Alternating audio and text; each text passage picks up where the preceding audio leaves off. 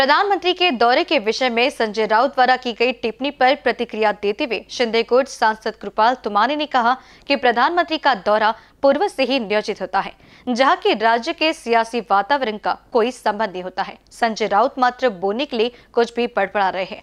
ऐसा अल्फाजी वार भी उन्होंने इस वक्त कहा। मुख्यमंत्री आहेत शंका नाही. आणि की प्रधानमंत्री महोदयांचे जे दौरे हे आधी फिक्स झालेले असतात. आणि ते कोणते तुमच्या इथे वातावरण जरी कुठे गव्हर्नर रूल जरी असलं एखाद्या राज्यामध्ये तिथेही जातात. त्याचा अर्थ का वेगळा काहीतरी लावायचा का?